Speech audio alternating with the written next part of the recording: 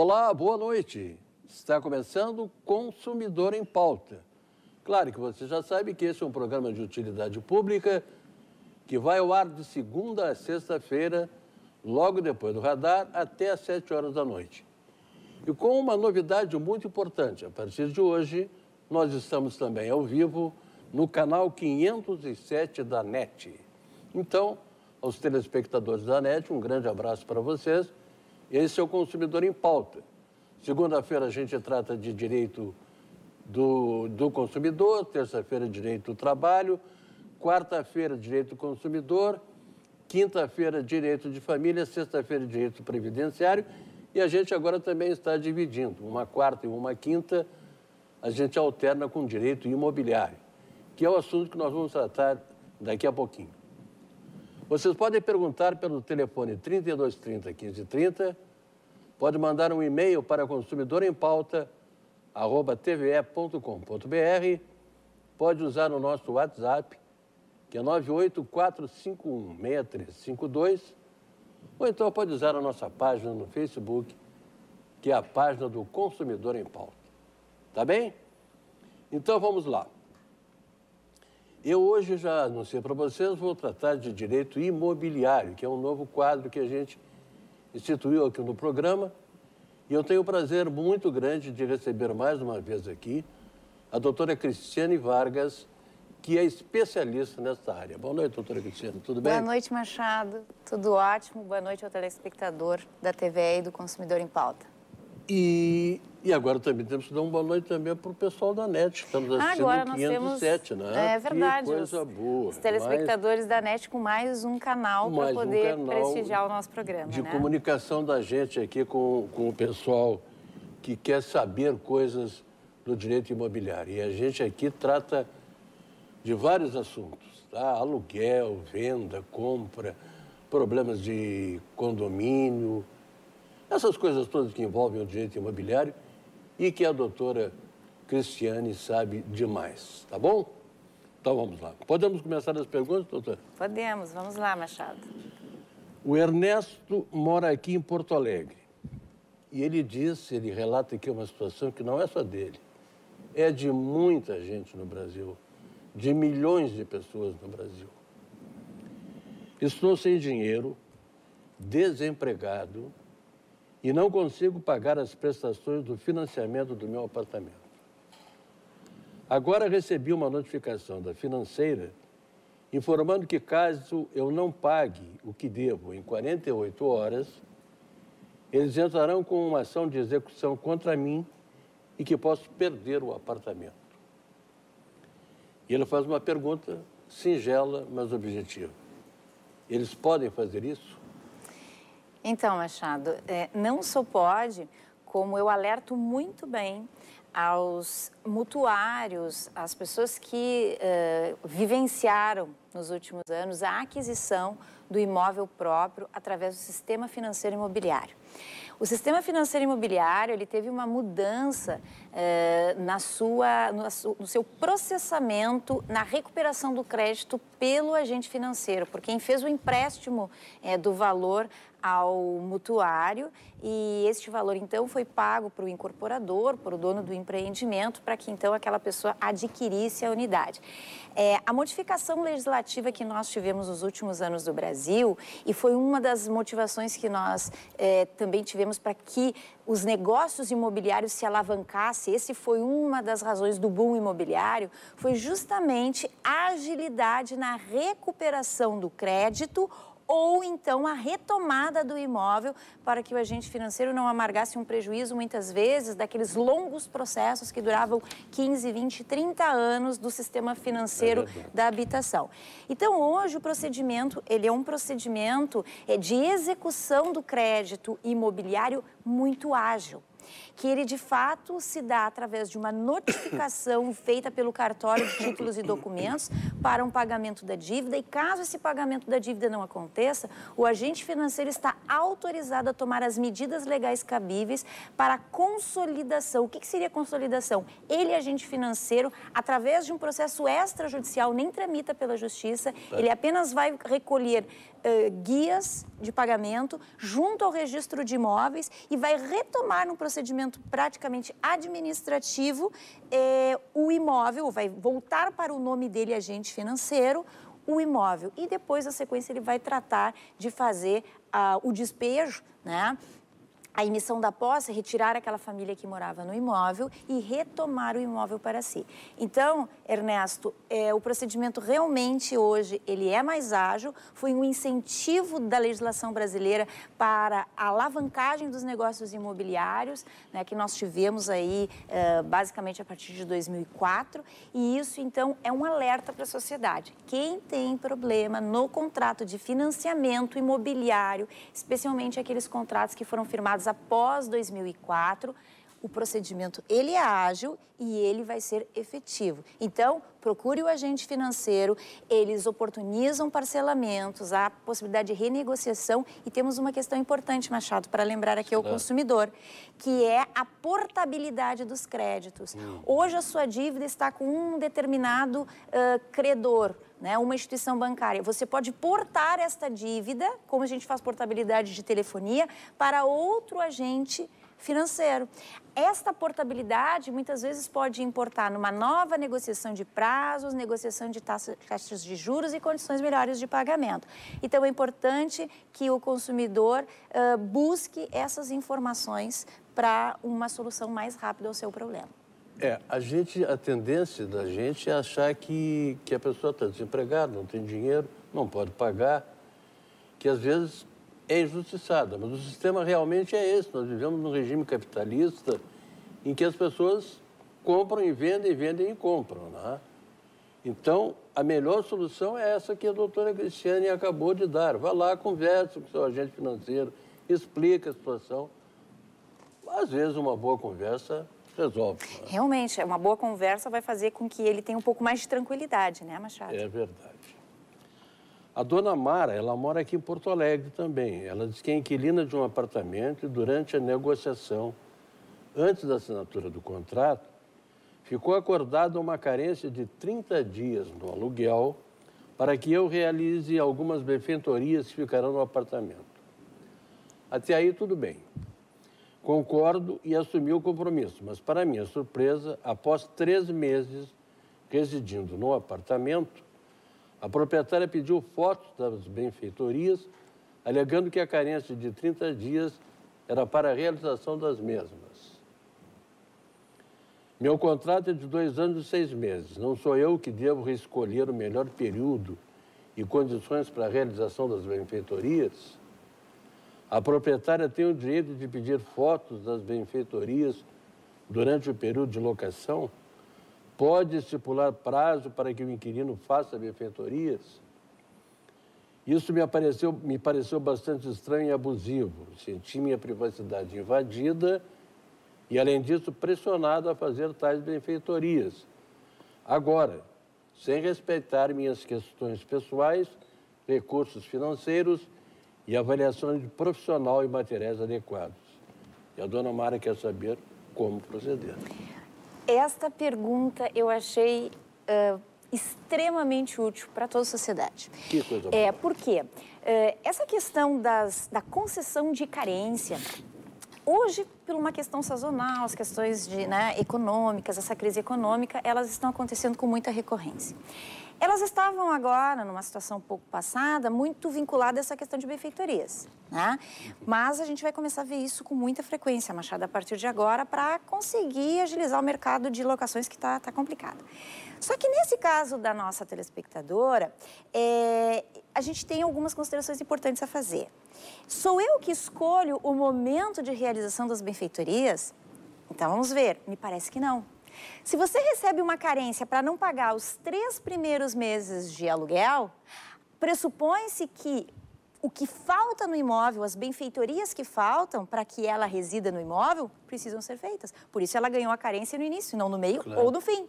Então, o momento de realização das benfeitorias é justamente o momento que ela recebe a carência.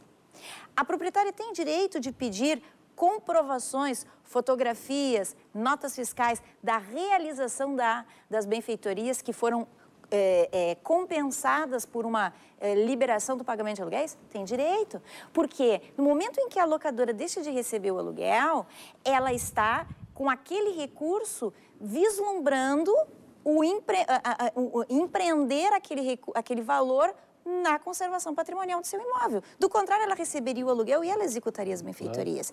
Então, me parece que o momento é o momento de concessão. Me parece que eu preciso demonstrar para a proprietária que ela não recebeu o aluguel, mas na contrapartida houve né, a, a realização das benfeitorias em melhoria do seu imóvel. Isso, essa questão do tempo, ela está implícito no momento da concessão a realização da, da, da, das fotografias não é nenhuma invasão da privacidade da locatária, mas também é uma garantia para a locatária lá no final, que deve, no final da locação, claro. que deve ter registrado no seu contrato que ela ganhou uma isenção para realizar benfeitorias. Se ela não fizer essas fotos, até por uma segurança dela, a proprietária pode ir lá no final dizer o seguinte: não há provas de que foram realizadas. E aí? Eu então tenho o direito de cobrar os aluguéis que não foram né, efetivamente alcançados. Então, me parece que há que se ter aqui também um bom diálogo entre a proprietária e, e, essa inquilina, mas a inquilina uh, tem que realizar essas benfeitorias no momento que ganhou a, carência. Deixa eu lhe fazer uma pergunta aqui, Pacho mais minha mesmo. É, as locações são muito difíceis? Machado, a gente está vivendo um momento bastante atípico do é. setor. Tá? Por quê? Porque uh, essa questão econômica que o país está enfrentando faz com que as pessoas é, deixem de pagar o aluguel. Eu vou, eu vou trazer um exemplo muito claro. Eu quero ser independente. Filho, mora com os pais. Hoje os filhos moram até bastante tempo com os é, pais, né? Tu tem uma, tua filha de 17, 19, eu tenho a minha de 18, né? É, Geralmente com 18, 19 anos a gente já tá... A primeira coisa que se pensava era morar fora de casa. Hoje eles estão aí com 25 anos morando dentro de casa, uns com 30 anos morando é, dentro de casa. Então, é, vamos pegar esse público. Ah, eu quero ser independente, vou morar sozinho. O volume de, de situações que as pessoas estavam morando sozinhas e retornam para dentro da casa dos familiares para se livrar do aluguel, para se eximir do aluguel, vem crescendo. É, empreendimentos comerciais, né? Comércio. Comércio a gente está vendo aí. A gente tem quadras inteiras na cidade de Porto Alegre com placas de alugas. Então, isso realmente a gente está vivendo. Mas não é Porto Alegre nessa realidade. Nós não, é uma realidade nacional. brasileira, né? é a verdade. Nacional. Que pena que seja assim, mas que bom que não é só aqui e que isso aí já mostra para a gente que daqui a pouco as coisas podem começar a melhorar bastante. O senhor Humberto mora na cidade de Novo Hamburgo. Ele diz que alugou um imóvel através de uma imobiliária local. Meu contrato tem vigência de 24 meses, com possibilidade de encerramento aos 12 meses. Faz nove meses que estou no imóvel, preciso desocupá-lo, pois vou morar em outra cidade por determinação da empresa onde trabalho. O valor da multa que devo pagar é sobre o tempo total do contrato ou existe possibilidade de pagar somente sobre os 12 meses, doutora Cristiane?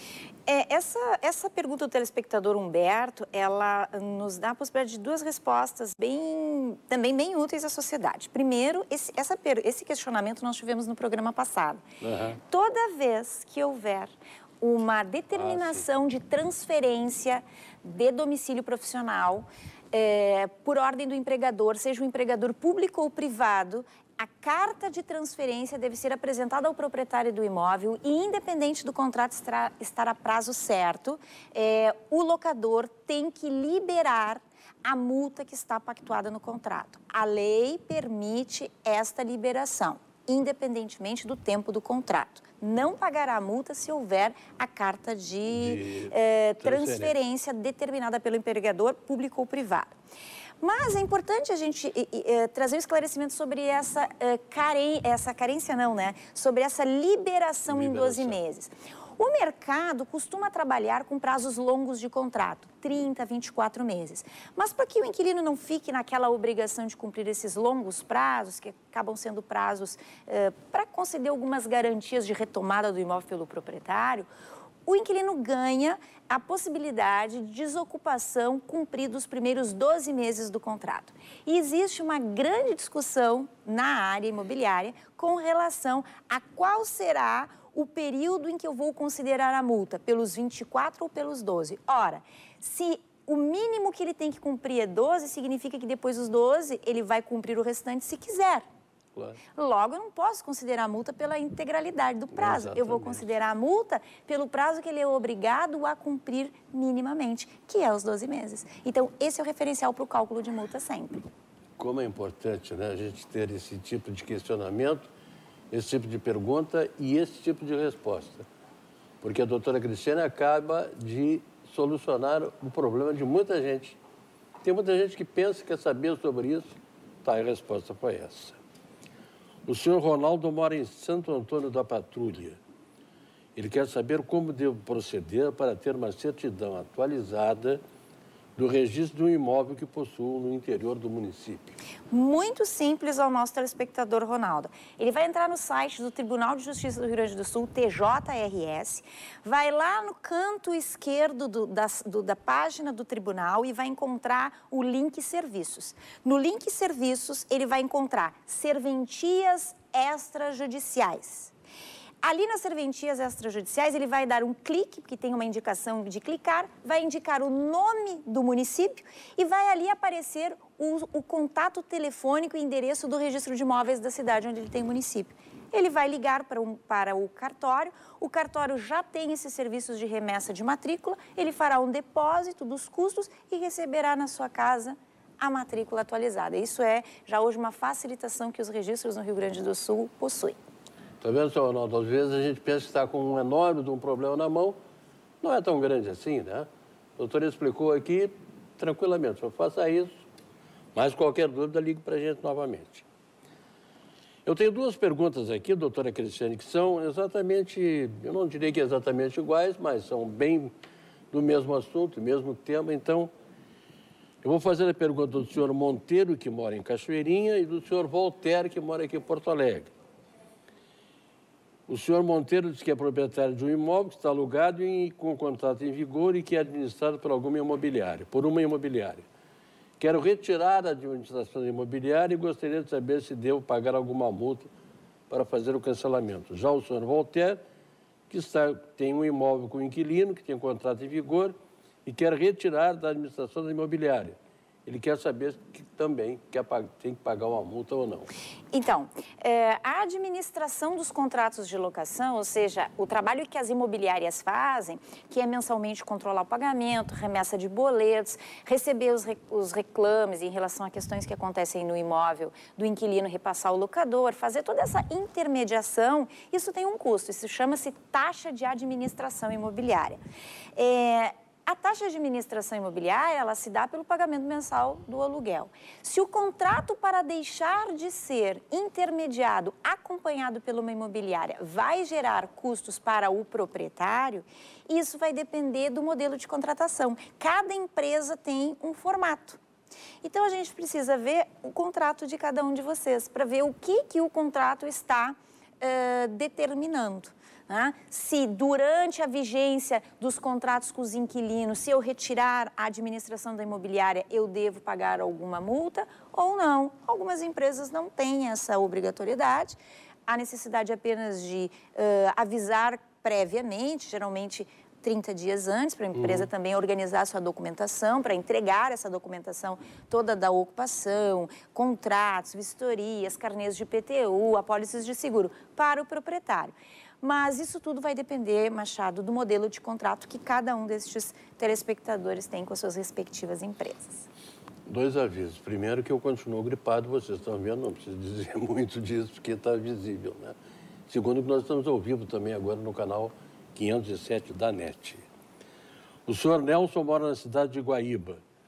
Estava querendo me mudar e acabei assinando um contrato de aluguel com a proprietária, mas não cheguei a me mudar pois desisti de morar no bairro em que está localizada a residência que ele ia. Tem que pagar alguma, alguma, tenho que pagar alguma multa, mesmo não tendo entrado na casa? É, eu comentei semana passada que a locação ela, ela se caracteriza pela posse, né? Quando não tem contrato. Agora, tem contrato. O contrato traz regras de quando começa a vigência do aluguel, de como são as obrigações. Primeiro, assinou o contrato, mesmo que não tenha ido residir no imóvel, não tenha ocupado, há uma cláusula no contrato que diz início da vigência, início da vigência das obrigações. Se essa vigência teve início, a relação contratual se estabeleceu. A denúncia dessa relação contratual não observado o prazo que as partes ajustaram gera sim o direito daquele que tem que sofrer a denúncia do contrato receber a multa. Claro. Nesse caso, é, vai da habilidade do nosso telespectador em conversar com o proprietário e do bom senso dele de ajustar apenas aquilo que efetivamente possa lhe ter prejudicado. Mas veja bem, essa expectativa do negócio que ele teve tirou dele a comercialização e talvez a locação para outra pessoa. Então, alguma coisa talvez ele queira recuperar. Ele teria direito de cobrar. Se o contrato está assinado com, e a vigência já iniciou, que é uma cláusula específica, ele teria o direito de cobrar aquela multa pactuada sim. Doutora Cristina, eu tenho uma última pergunta que eu vou lhe pedir toda a pressa do mundo. Claro, eu já imaginei. Em cima da hora. o Walter de São Leopoldo disse que entrou com uma ação contra o condomínio onde ele mora e contra a empresa que administra o mesmo. Perdi a ação.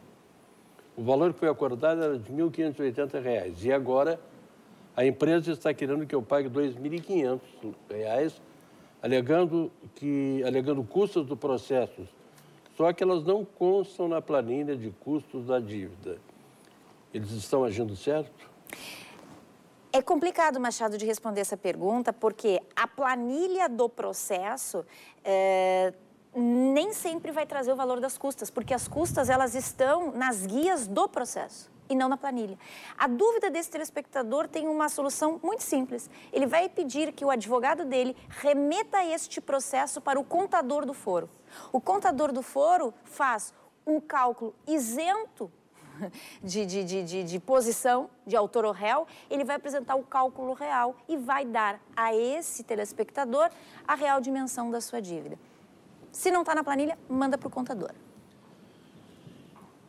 Tive um prazer enorme de conversar aqui mais uma vez com a doutora Cristiane Vargas, que deu os esclarecimentos tão importantes a todos vocês, a todos nós, agora telespectadores da TVE e do canal 507 da NET. Doutora Cristiane, muito obrigado. Volto sempre. Eu que agradeço, Machado. Tá? Uma boa nós noite. Temos um prazer muito grande de conversar com a senhora aqui no programa. Vocês vão ficar agora com o programa Panorama. E amanhã eu estarei de volta aqui no canal 507 da NET falando sobre direito de família. E estará comigo a doutora Cristiana Ferreira. A todos vocês, muito obrigado, muito boa noite e até lá.